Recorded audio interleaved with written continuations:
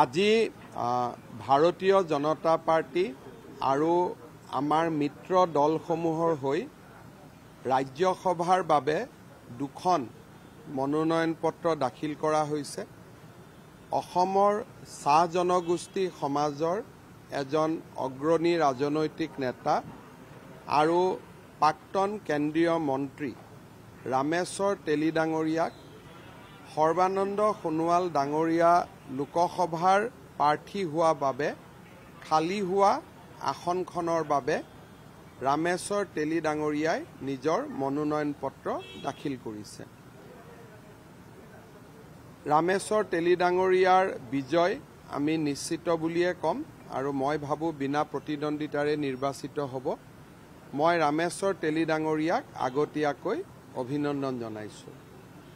আপোনালোকে জানে যে ৰামেশ্বৰ তেলী ডাঙৰীয়া আমাৰ বিজেপিৰ খুব পুৰণা এগৰাকী নেতা আৰু তেখেতক ৰাজ্যসভালৈ মনোনয়ন কৰা মনোনীত কৰাৰ বাবে আমি কেন্দ্ৰীয় নেতৃবৃন্দক ধন্যবাদ জনাইছোঁ।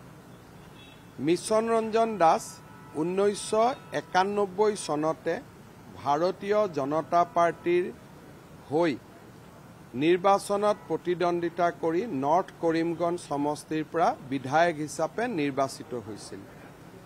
আৰু তেখেতে বিধানসভাত বিজেপি বিধায়িনী দলৰ দলপতিৰ ভূমিকাও পালন কৰিছিল। মিছন ৰঞ্জন দাসক এইবাৰৰ ৰাজ্যসভাৰ নিৰ্বাচনত কামাখ্যা প্ৰসাদ তাছাৰ খালী হোৱা আসনখনৰ বাবে আমাৰ দলে মনোনীত কৰিছে। মই মিছন ৰঞ্জন দাস ডাঙৰীয়াকো অভিনন্দন জনাইছোঁ আৰু মই আশা কৰিছোঁ যে তেখেতে আমাৰ অসমৰ ৰাইজৰ আশা আকাংক্ষাক সংসদত প্ৰতিনিধিত্ব কৰিব পাৰিব।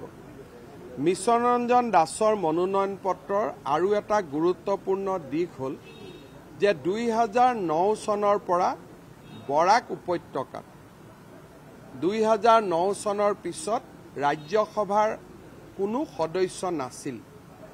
একেবাৰে দুই হাজাৰ ন চনত শেষৰজন ৰাজ্যসভাৰ সাংসদ আছিল কৰ্ণেন্দু ভট্টাচাৰ্যী বৰাক উপত্যকাৰ পৰা। বৰাক উপত্যকাৰ পৰা এইবাৰ দুই হাজাৰ ন চনৰ পিছত আকৌ এবাৰ ৰাজ্যসভাৰ সংসদ এজন নিৰ্বাচিত হ'ব। কৰিমগঞ্জৰ পৰা ৰাজ্যসভাত কেতিয়াও কোনো ব্যক্তি কৰিমগঞ্জৰ পৰা কেতিয়াও ৰাজ্যসভালৈ যোৱা নাছিল।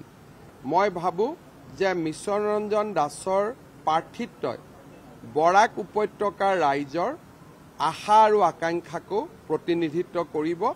মই দুয়োগৰাকী প্ৰাৰ্থীকে বহুত বহুত শুভেচ্ছা জনাইছোঁ আৰু মই আশা কৰিছোঁ যে দুয়োজন প্ৰাৰ্থীয়েই বিনা প্ৰতিদ্বন্দ্বিতাৰে নিৰ্বাচিত হ'বলৈ সক্ষম হ'ব।